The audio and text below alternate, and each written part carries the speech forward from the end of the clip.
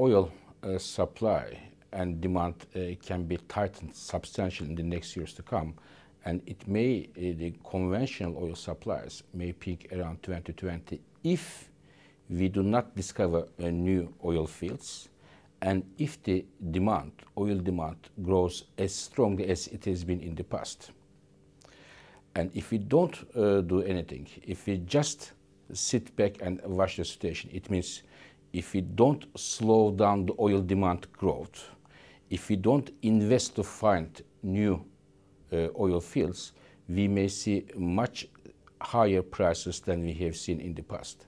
And this could have uh, very bad implications for the global economy, for all the countries in the world, major consuming countries such as the US, China, or European countries, but as well as for the producing countries, because oil is one of the major revenue generators. So what we have to do is, on one hand, we have to invest to find new oil fields. Second, perhaps much more importantly, is to slow down the oil demand growth. And we can slow the oil demand growth finding solution to our uh, transportation sector problems. We have to find cars, we have to use cars much more efficiently.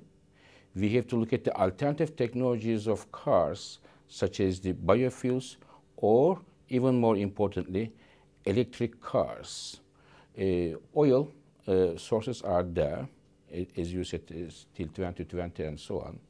But one day, if not 2030, 2030, 2040, one day we will run out of oil. This is a matter of time.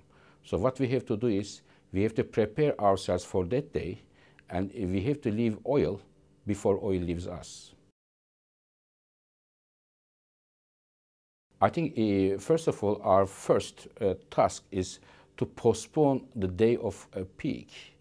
And to do that, uh, we have to invest in oil fields and we have plenty of oil, mainly in the OPEC countries in Middle East. There is plenty of oil there. We have to see that investment is done in order to explore new oil fields and develop the existing fields. Second, industry and business need to uh, look at the alternative option in the transportation sector.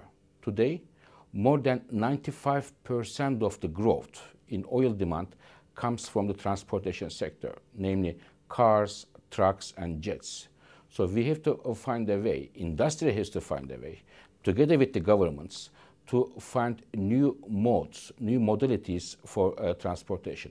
This is our first task, to postpone the peak. And uh, then if we are well prepared uh, for the day that the global oil production goes down, uh, uh we can find uh, solutions to the significant economic challenges we may face.